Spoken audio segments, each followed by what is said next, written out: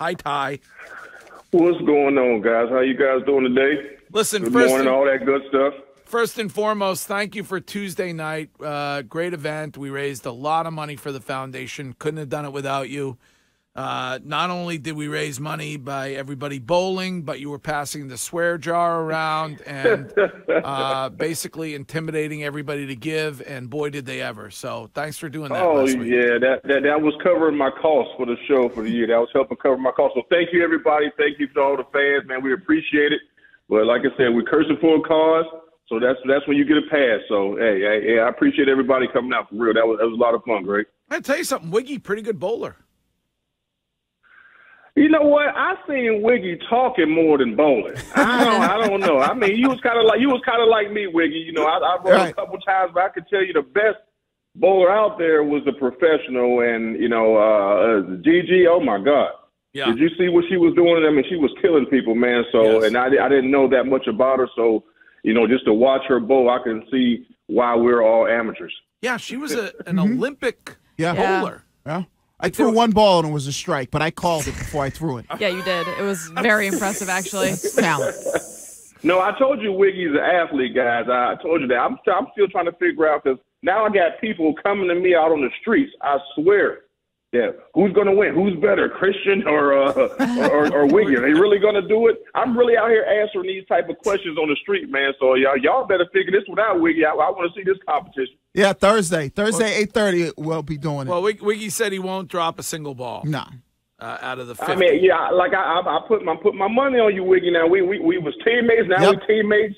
You know, uh, on uh, and on our on our professions now with Right. the Greg Hill show. Greg Hill being our damn boss. That's funny. But hey, Greg Hill's the boss. he the coach. But hey, Wiggy, I got my money on you, man. So hey, Christian, we good. But I got my money on Wiggy. So everybody put that money on Wiggy. I got you covered. Don't sweat it. Um, Ty, All sec- second second half of the season essentially underway for the Patriots. Uh, on on record for you, is this a playoff team? I mean, the way things are shaking up right now, you never know. I mean, they were on the. If you win a couple of these key games, like winning this game coming up, because you already have one up on uh, New York, and they're going to give people some fits. They're going to be competitive. So I can say they can they can sneak in, but they have to win these uh, uh, uh, crucial games. They didn't make any moves as far as the trade deadline. I don't know what type of splashes that they would or could have made, but they have the potential to get in. And once you get into the playoffs, it's a brand new season. It's a brand new season. So I'm looking forward to seeing what happens over the next couple of weeks because the same team doesn't show up all the time.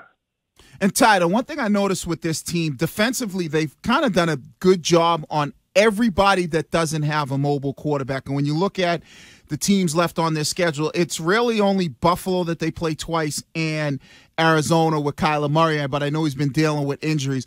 What makes it so difficult to be able to defend those type of mobile quarterbacks that lead to problems with this defense?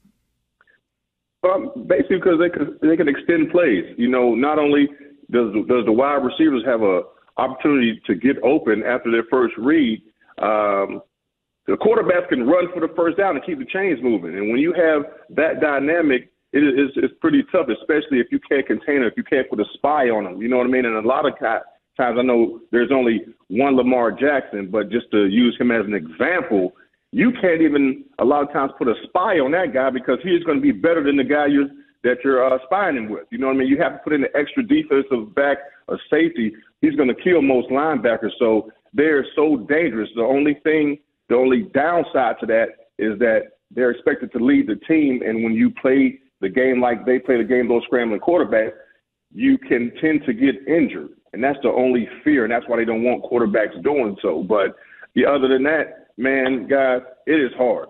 It it is hard, and if you if you don't have the type of uh you know talent uh to cover one on one, to cover for a long time, it's going to be some. They're going to expose your defense. So I, I'm I'm glad going into the next few weeks that they don't have uh mobile quarterbacks that they have to deal with because that's going to be an advantage to the Patriots. Ty, as a guy that manned the secondary here for several years with Bill Belichick, curious to get your thoughts. Devin McCourty, during the bye week, joined the NFL today on Sunday morning, and he told Bill Cowher that he had heard from Giants players that they much prefer playing with a guy like Brian Daboll than with a guy who was a player's coach than with Joe Judge last year.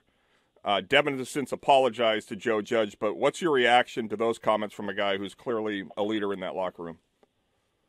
I mean, there's certain things you're supposed to keep to yourself. You know, this is the first time I'm hearing about it, but you know, he he should have just kept that one to himself because people tend to blow that out of proportion and run with it. He was saying what other guys uh, have said in the locker room, but you know, it's just certain things you don't say, and he made a mistake. Yes, he apologized, as you said to uh, Joe Judge, but you know, you just got to think before you speak sometimes. But I mean, it, it, it happens. Ty, when you look at the schedule coming up and they've got three games over 12 days, from what you've seen out of this team so far, do you think momentum will help them? They go Jets, then the Vikings, then the Bills. Vikings and Bills, we know, are going to be a tough one. Hopefully, the Jets won't present any issue to them. But do you think momentum will help them if they get a win with the Jets, or do you think that this could be this could be a tough stretch? Oh, it's going to be a tough stretch. I mean, you know, the Vikings. I mean, they well, they lost one game. You know, they're they're they're finding ways to win. You know, Buffalo they're they're pissed off because you know they they let one slip away, they let a couple uh, slip away, and uh, so yeah, they're going to be looking to get back on track uh, themselves. So you know, I think first things first, you have to take care of uh, New York. You can put this to bed if you beat these guys again, but this is not going to be an easy test. They're starting to find their little swag, their mojo, and New York, hey, they they they want to win. They got some talent for a damn change. You know what I mean? Let's let's get let's let's give credit where credit is due, but I mean, this three game stretch is crucial. If you can get the momentum, hey, you get past these three, you're looking at the playoffs. I don't I don't know. I can't say convincingly that they're gonna go come out of this, you know, unscathed and go uh, uh three and zero oh out of this. I mean, I, I just don't. I just can't say that. But I would like to see it. But I mean, uh, you, you still have to go out there and play the game. Ty, we were just talking about like Devin and talking about coaches, but talk about the importance and you know i think in all aspects when we look at this this patriots team the relationships that you build with coaches. Like you know when they talk about brian daboll giants plays and say oh he's a guy we like to play with. Throughout your career you probably had those guys and you had guys who are like oh i can't stand playing for this guy. Talk about what it's like to play for a guy you love to play with versus a guy that maybe you don't have the best feelings playing uh, playing for I mean, I really never looked at it like that going into a game and who do I want to play for? Because first of all, you have to play for your teammates. You can't pick the coaches all the time. So I mean, as as a player and as an athlete and a professional, you have to go out there and do your job. Let's let's just hypothetically say that I didn't like you know to play for Coach Belichick, which is one not the case. Love playing for Coach Belichick, but I'm just giving you an analogy. What does that have to do with me going out there and covering my guy? The person I don't need to be liking is the is is is Randy Moss, T.O., uh, Keyshawn. That's who the hell I don't need to be liking right now because I got to go out there and play them. You can always pick your coach, and you know, Wiggy, being an athlete, you it's some high school coaches that you didn't agree with. There's college coaches you didn't agree with. There's pro coaches that you know what I can care less if I see this guy at the end of the day uh, after we go home from work. I ain't got to see him no more. So I really don't buy that. Uh, don't like to play for this particular coach or whatsoever because you are a professional athlete, and that is not your job to go out there and worrying about do I get along with this coach. Does it help when I do get along with him, or and we are on the same page? But at the end of the day, my job is to go out there and cover whoever I got to cover, tackle whoever I got to tackle, and motivate and play for my teammates.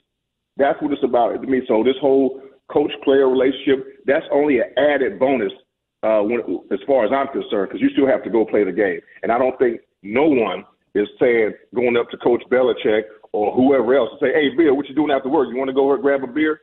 That's not normal shit. Ty, obviously the Patriots just saw the Jets not so long ago. Uh, they they probably want to improve on all aspects of the game, but when you look at that game and then they're prepping for this week, what's the number one thing that they need to work on or do better? I, I, I think uh, continuing to get after the quarterback is. I mean, they they they doing it. They're doing that in spurts, but continuing to you know play together as a team, coming up with turnovers. I think we can get more production from a receiver standpoint. Those guys, I mean, like I said, they still don't scare anyone. They're finding ways uh, to win, but they at, at times, but they need to win more consistently on the outside uh, with the wide receivers to open up, you know, the, the running game even more. I think the running game, I mean, the, the running game is opening up the passing game, but imagine if you can go out there knowing that you're going to throw the ball and you put fear in people. Imagine what's that going to do, you know, to the pretty good running game that they already have. So I want to see those guys on the outside, you know, win more the one-on-one battles. They come up with some big plays every now and then. Don't get me wrong, but they don't do it consistent, consistently enough for me. Ty, that's an interesting point because I kind of look at where you are throughout this part of the season. Like that's who you are offensively. You know what what's going to change in the sense all of a sudden like you you know DeVante Parker's not going to wake up and then all of a sudden have the skill of Randy Moss. So when I look right. at that, I look at this defense and I almost feel like this defense has to take the weight of the world on its shoulder as far as going out there you know, creating turnovers. I think they're second in the league in creating turnovers. They're second in the league in the sacks. Have you ever played or been a part of a team where you almost like deep into the season knew what your offense was, and it was mm-hmm. like we defensively have to go above and beyond to at least keep us in games or even win football games? Uh, yeah, absolutely, and I and I know, you know, people want or would ask, when was that? Hell, when Tom Brady first got there, we we didn't know what to expect to count on we were a defensive team, so we felt like we had to be we had to be on point at all times. Mm. You know what I mean? That's just the, that's just the way it was. And mm. um, you know, of course, no one knew that he would become the goat, uh, the greatest quarterback of all time. But at that time, at that moment, we felt that we had little margin for error because we didn't know what was going on on the other side of the ball with the quarterback. You know, when Drew going down and, and, right. and Tom coming up, he hasn't had that much experience. You know, and the name guys was on defense. The leadership was on defense. So, so you know, yes, I've been a part of that. Essentially, you're saying Tom Brady first year, second year, uh, very similar to Mac. Uh, the defense kind of ha- had to uh, pull the, uh, the the majority of the weight. Yes, I mean absolutely, and I mean it's it's, it's not throwing any shade on on anybody. That's just what it was, you know, at that time. Think about it when you had Drew Bledsoe, who was the face of the franchise, you know, go down. Then we had a relatively unknown guy, mm. you know, coming in to lead the team. Right. And we we have championship aspirations, and we feel that we're a pretty good football team. But uh, when you think about you're a pretty good football team, you're always saying, okay, we have a stable quarterback. Yeah. We didn't have a stable quarterback situation. And like I said, the leadership, you know, and, and, and the strength of our team was on the defense. And, and that's how we uh, won those first couple of Super Bowls uh, uh, defensively. Okay, so Ty says mm-hmm. First year and a half of Mac Jones, pretty similar to first year and a half of Tom Brady. Okay. All right. Excellent. Thanks. That's all I needed, Ty. Hey, hey, hey, uh, so, you know, I, I like the narration, Ray. So Ty said, I said what we did. Now, you can take guys, you can take everybody, fans, take it how you want to. I'm just telling you how it was. Give Mac a little bit of, uh, I guess, a little bit of cushion, but I wouldn't say Tom Brady yet. I wouldn't say that because defensively, hell, that is not our defense. I'll say that as well. They ain't what we were, not yet. They're on the path, but they what they they ain't got them type of dogs out there yet, Wiggy. But they're working on it. They working on it. Uh, I believe if we want to be, you know, just statistically accurate, Tom Brady led the NFL in touchdown passes his second season. I don't think Mac Jones is going to do that. Exactly. And then, like I said, it's more so the first first go around yep. when uh, we never played from behind. You know, think about it. Never played from behind until I think well, we got to the Super Bowl. If it was some, if, if it was something like that, it was it was pretty close. The Oakland game, we were down 13-3, and somebody had a bunch of catches in that game. Fauria came yeah. up big. Uh, the Oakland game, we were down 13-3, and they were able to come back right. from, from that de- deficit because we led in the Super Bowl. Was it raining in that game? What was it? In the Oakland. Uh, I was snowing. Oh, was at the blizzard. Hey, my question to you, Wiggy, let me ask you this from your from your perspective, being on that team, mm-hmm. uh, on as far as the office, you know, office room. You know, people we're on the same te- team, people, but we have different.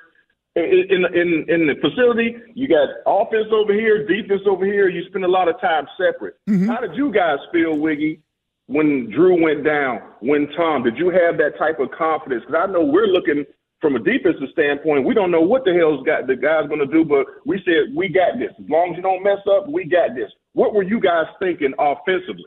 I, I think we were thinking like first off, we were thinking like, all right, well, we knew what Tom kind of had, but you never saw him play in like real games, so we were a little bit concerned.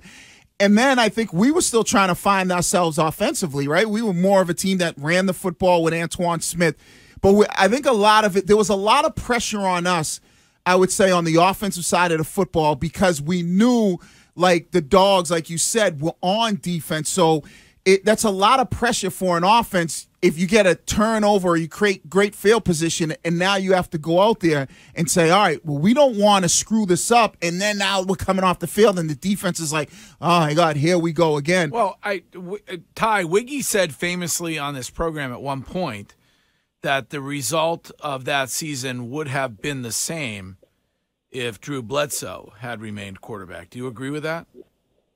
Yes, I, I agree. I, I agree uh, 100% because, like he j- just said, uh, the strength was on the defense, and we were able to stop people. You know what I mean? And if, yeah. if there was a miss, miss, mishap, you know, offensively, hey, we felt like we got this. But I know what you mean, Wiggy, because we uh, had those times when you walking off the field and we walking on the field looking at y'all like, are you kidding me? And right. I'm quite sure it's vice versa. It was it was times well, where not we real, made plays. Not, we come off the field and it's like, come on, guys, you know, step up. Right, but, but you don't want to walk past Willie McGinest like that, especially when he's pissed off.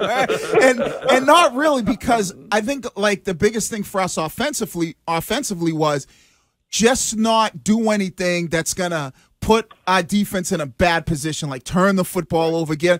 But we were definitely offensively like we we were definitely playing in the sense where we knew our team was built on defense and we just couldn't go out there and make mistakes. And when we did, we were like, damn, you know, hopefully the defense isn't like you said, walking by Willie Mack. And and they held us accountable. But for Ty's right, for the most part, you know, they put us in great position. And our biggest thing was don't make mistakes. And if we didn't make mistakes, our defense was going to be good enough, and eventually we would make enough plays on offense. So I think that's where we were from an offensive perspective. Oh man, that's awesome. See, so I'm glad you said that, Wiggy, and I put it out there so you can explain that. I didn't really know how it was. I know when you say certain things, you think, okay, defensively, it's like you're shooting shade on Tom Brady or the offense and like that. So I'm glad you said that, Wiggy. Hey, where's your remark off of that, Greg? Because I know it's probably going to be something being said, some shit said, because whatever I said. But thank you, thank you, thank you, Wiggy. How about take that, Coco? Take that, take that, Greg. Damn right, we're a defensive team. Appreciate it. Uh, Ty Law, I would never say anything to your face that, that, that, that disagrees with what you say. All right. Um, it is always a pleasure, and we will talk to you next week one more time before Thanksgiving arrives. All right, Ty? Oh, yeah, absolutely, guys. Hey, hey, take it easy.